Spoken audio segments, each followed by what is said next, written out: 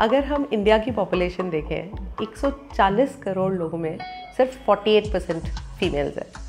और इनमें अगर हम देखें ऑन एन एवरेज तो फीमेल्स की लाइफ स्पैन तीन साल ज़्यादा होती है। जबकि अगर हम लिटरेसी रेट देखें तो 83 percent males are literate and only 69 percent females are literate चलो, ठीक है, मान लेते हैं। लड़कियाँ कम काम करती हैं तो इसलिए उनको ज़रूरत नहीं होती फॉर्मल एजुकेशन की।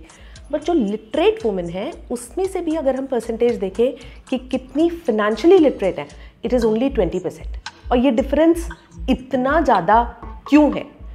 क्योंकि वो समझ नहीं रही हैं कि जब वो फिनेंशियली लिटरेट होंगी, तब वो ज़्यादा डिसीजंस ले पाएँगी और जब वो ज़्यादा जिएँगी तो वो अपने लिए पैसों को सही से यूज़ कर पाएँगे। So what we are saying is कि मुझे इस वुमेंस डे पे मैं प्लेज ले रही हूँ कि इस साल मुझे कम से कम हंड्रेड फीमेल्स को फिनेंशियली लिटरेट बनाना है और फिनेंशियल डिसीज़न मेकिंग में लेके आना thank you so much